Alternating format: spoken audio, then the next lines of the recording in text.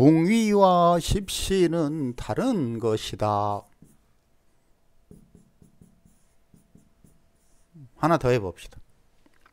자, 이 구조를 보면 눈에 딱 띄죠, 그죠? 시공학 공부한 사람들은 정신임 삼자조합. 정화가 신금에게 열기를 가하고 해수에 풀어지고 그러면 이런 구조의 특징은 부자다. 똑똑하다. 돈을 빠르게 모은다. 그죠? 그러니까 먼저 아하 여기는 이쪽에 이쪽 동네 내가 조상 부모 쪽에서 벼락 부자가 있겠구나. 빨리 빨리 돈을 벌었겠구나 이런 생각을 하죠. 자, 그 다음에 이제 배우자를 기준으로 한번 봐봅시다. 배우자가 어디라고? 여기죠. 일지가 배우자다. 십시는 참조만 해라. 그랬더니 여기에 축토가 하나 더 있네. 아, 요거 한 번에 끝날 결혼 아닌데? 라고 이해를 해야 되고 두 번째는 미해해. 이걸 뭐라 그랬죠? 공일원 책의 쌍보금. 이건 결혼이 불미하다고 그랬죠. 그죠? 자, 그 다음에 세 번째, 이제 십신을 참조해 봅시다. 이거는 일지였고, 일지 상태가 별로죠. 그죠? 자, 이게 정관, 해종 임수가 정관이죠. 그죠? 이 정관이 어디 있어요? 하필 여기 있네. 누구랑 하고 있죠? 나랑 똑같은 도플갱어랑 도플갱어랑 짝짝꿍 하고 있네. 그죠?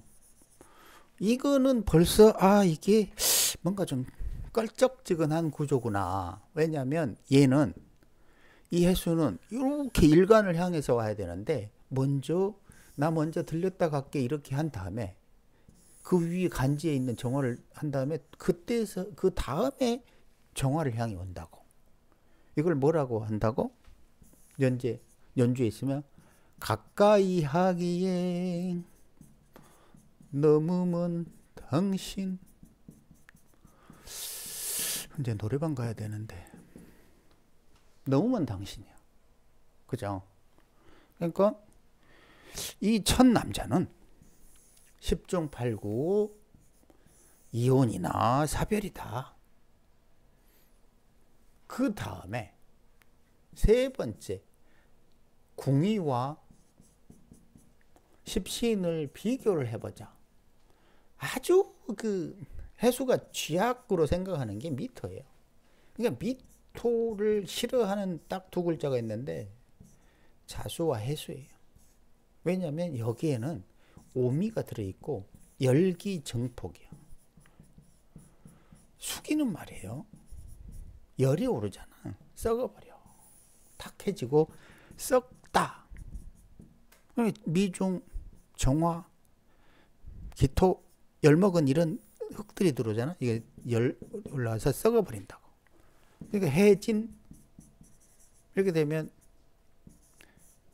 열 올라서 고혈압, 당뇨 이렇게 이야기를 한다고 질병론적으로는. 왜? 진토가 해수의 그 청정한 수기를 해서 개수로 증발시켜 버리거든. 울목으로 좌우로 쫙쫙 하고 열기 올린다. 진올에 그 아지랑이 핀다고 생각하면 돼요. 그러니까 이 구조는 뭐가 문제다? 1, 2, 요거 3.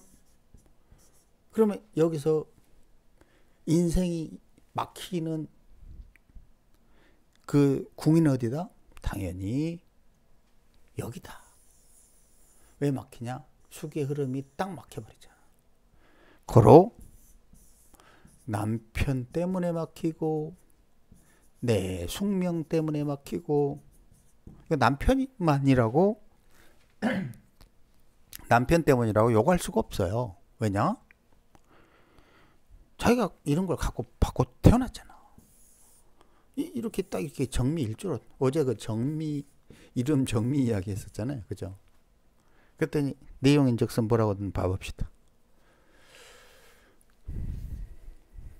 이혼 후 독신 생활 부자 가문에 태어나 좋은 대학까지 나와. 한 살 연하. 결혼하여 일남 인연을 두고 살아서나. 뭐 이혼했다. 그래서 혼자 산다. 뭐 이런 말이죠. 그죠?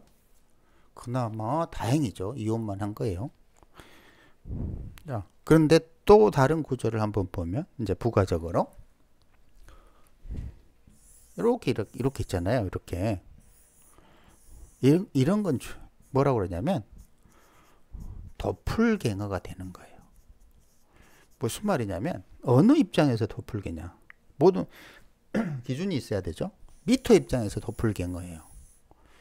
어? 청아도 있고 청아도 있네? 뭐지? 내 마누라는 진짜 마누라는 뭐지? 이런 게 이제 의처증이 생겨요.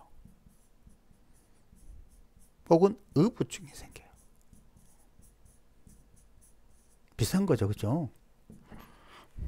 왜냐면 헷갈려. 이게 많으면 헷갈리는 거야. 쉽게 말하면.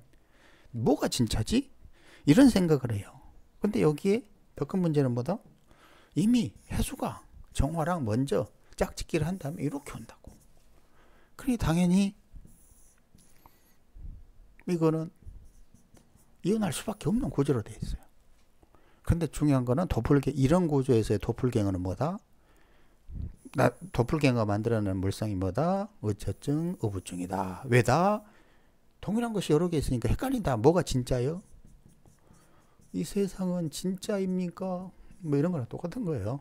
그죠?